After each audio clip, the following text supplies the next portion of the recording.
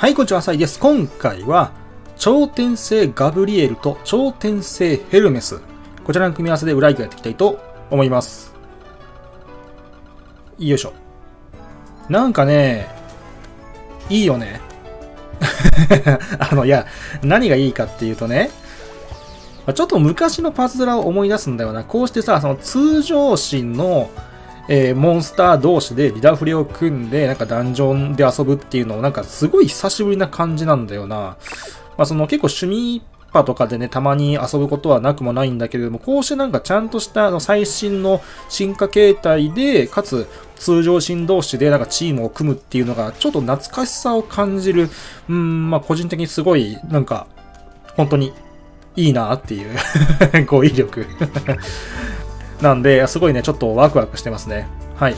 えっ、ー、と、光吸収だから外したいんだけれども、あいけるかな？まあ、でも一旦ここ吸わせてもいいな。よいしょ。まあ、盤面の光一旦消してから、えー、こういう感じでいいかな。OK、3つなら次いけるかな。はい、えー、リーダースキル確認しておきましょう。まずガブリエルの方が、紙タイプの攻撃回復3倍、指2秒炎上、炎上じゃない、延長、水2コンボで半減の5.5倍ということで16.5倍出ますよと。えー、そしてヘルメスの方が水の HP 攻撃が2倍、指2秒延長を、水の2コンボで7.5倍というの、えー、2コンボ加算ですね。えー、ということで、えー、15倍かな出ますよと。お互い水2コンボで倍率が出るということで、えー、しかも型や回復倍率、型や、えー、HP 倍率なので、まあ、おおよそこの組み合わせで、えー、ちょうどいいのかなと。まあ、これを想定して、えー、作られた、まあ、調整なのかなと思わなくもないんだけれども、まあ、これでいいかなっていうふうに思いました。うんただし、その、ガブリエルの方が紙縛りなんですよね。水縛りじゃなくて。紙縛りでヘルメスが水縛りだから、えー、紙タイプかつ水属性でないとダメなんですよね。だからそれで若干サブが限られてしまう。お互い水縛りだったら一番良かったんだけど、まあ、例えば、えー、ノルザを2体突っ込んだりしてループするとかのね、まあ、そういった選択肢もあったかなっていうふうに思うんだけど、まあだから紙縛りっていうのが若干ネックではあるかな。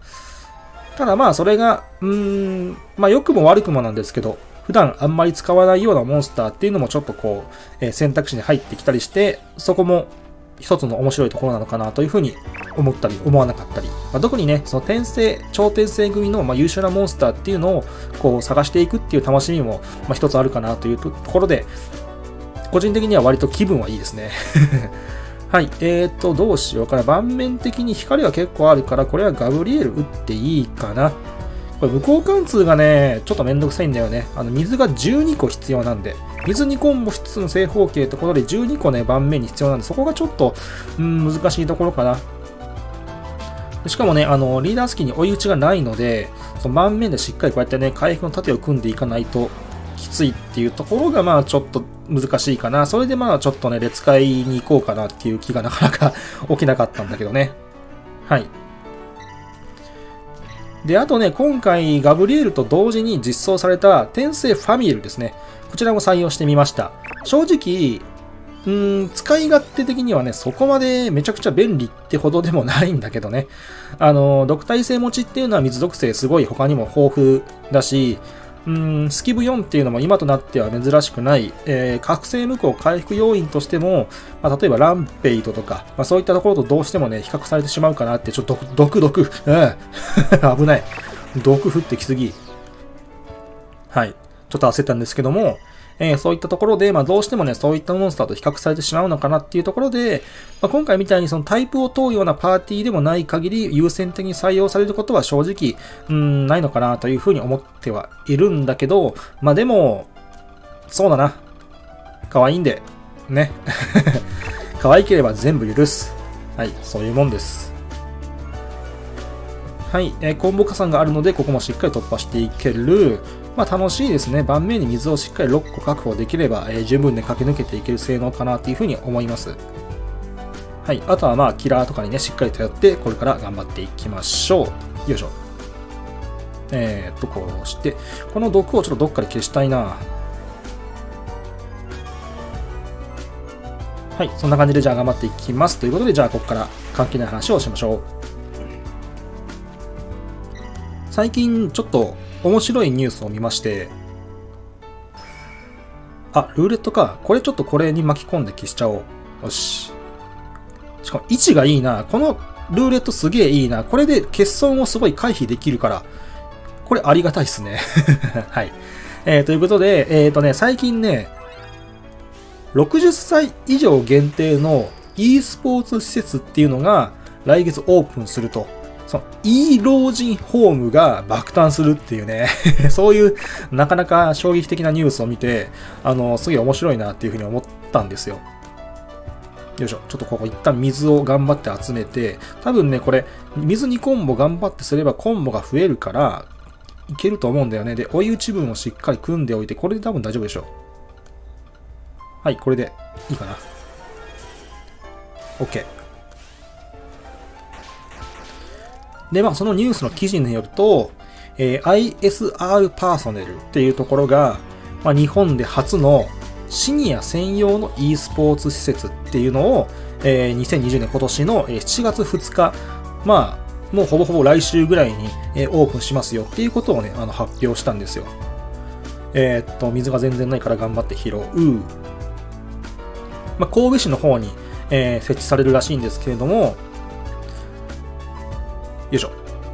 まあ、そのシニア層の、え、活性化っていうのに、えー、一役になればいいのかなっていう、まあ、そういう思いから、えー、会員資格っていうのを60歳以上に、えー、限定したということなんですね。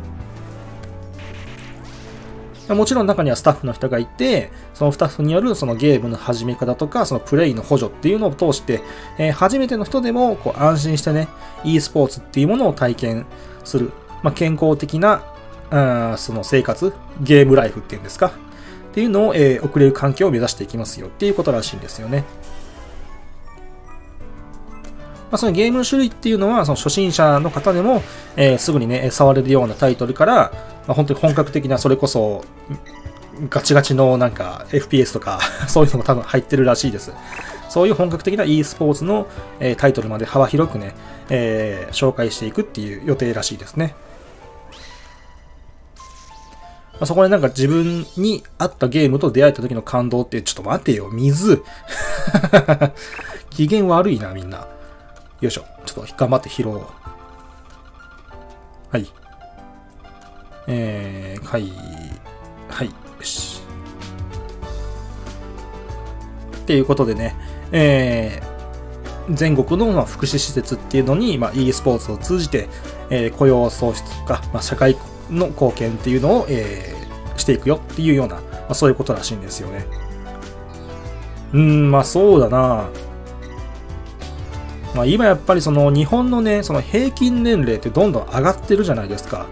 もう超高齢社会っていう風に呼ばれたりしてますけど、その高齢者施設とか、その障害者の施設とかで、その e スポーツっていうのを、こう、なんていうのかな、紹介する人材として、えー、その経験を積んだね、シニア会員の派遣っていうのを想定してるらしいんだよね。なんかすごいね。まあ、その年配の方々に向けたそのサービスっていうのを展開していくっていうのはね、それは当然のことだと思うんだけれども、まあそれを e スポーツとつなげるっていう、ちょっと待って、これダメか積んだいや、積んではないな。ルーレットから回復を必死に拾えばなんとかなるか。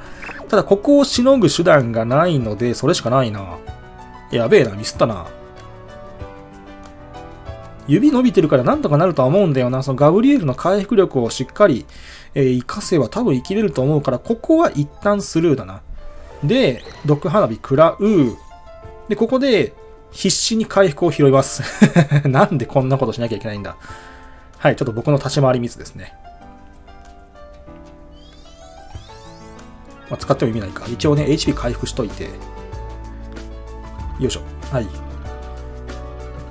うーん、あ、間違えた。闇じゃねえ。えー、こう、こう、で、えー、ちょっと待ってよ。はい、こう。2コンボぐらいでいけるか？一応もう1コンボ時間があるから頑張って作る。はい。はい。これでどう？あとは？やることある？もうないかあ、十分だね。あ、よかったよかった。あ、危ねえ。死ぬかと思った。はい。えー、っと、だかその超高齢社会の今の状態とそれを e スポーツとつなげるっていう発想はね、僕は本当にすごく感心しましたね。e スポーツの話っていうのはね、これまでも結構このチャンネルで、うん、してきたかなっていうふうに思うんですけれども、ただこの発想は、うん、なかったなやっぱその、老人にゲームをさせるあたりね、っていうその発想が、うーん、ちょっと僕にはなかったっすね。もう老人ゲームしないだろうっていう なんかそういう固定概念にとらわれていたのかもしれない。ゲームってやっぱりその、認知症予防とかにもいいって聞いたことあるし、まあ、脳の活性化にはね、非常に、えー、大きく貢献できるんじゃないかなと。なんかね、その、例えば、車のゲームとかやってもらって なんかその老人の追突事故みたいなのが減ったらいいのになとか、ちょっと思ったりはしましたけどね。まあ、その僕が聞いたことある話だと、その90歳超えたような、例えばおばあちゃんがね、そのダークソウルクリアしたとか、あの、ビーマニのメイっていうめちゃくちゃ難しい曲フルコンするとか、まあそういう話も聞いたことがあるし、えー、っと、水足りないかな？足りないな？ちょっと一旦ここ普通にコンボして耐えようか。まあ、実際ゲーマーの年齢層っていうのも結構上がってきてると思うんだよね。まあ、特に格闘ゲームとか、あの、昔からあるゲーム、例えばまあ、テトリスとかっていうのも一応 e スポーツの種目としてあったりするし、あとなんだろうな。マリオ64の RTA とかあんなんもあるかな。半分、あ、いかねえか。ゲーム文化っていうのもね、あの長年にわたってあのずっとね、構築されてきたものであることは、これは間違いないと思うんで、まあ、そういったものと、こう、シニアの方々っていうのが結びつくっていうのは、まあ、言われてみれば、ある意味必然なのかなというふうにも、うん、思わなくもない。ただそれはやっぱり今回のね、この ISR パーソネルですか？っていう会社が初めてね、こうやって取り組むっていう、うん、事実から見えた考えだけどね。なんかね、その、やっぱ若い人とそうじゃない人たちの間なんかその、例えば、今時の若いもんはとかさ、あれ若い人は若い人で、あの、老害どもがみたいなさ、そういうなんかちょっといがみ合いみたいな、あの、ことをしてるところもあるけども、なんかこうやってちょっとでもなんか近づいていくような、そういう社会の取り組みっていうのは僕はね、やっぱすごく評価したいですね。えー、足りねえじゃねえかよ。えーっと、目覚めてるから正方形食うんで落ち込んこいですね。これで来なかったらちょっともうやばいな。えー、っと、こうだかないや、マジか。うん。これまずいなえー、ここでもたつくと思ってなかったなまあ、ちょっと僕の立ち回りがいい加減だったかな申し訳ないな、これは。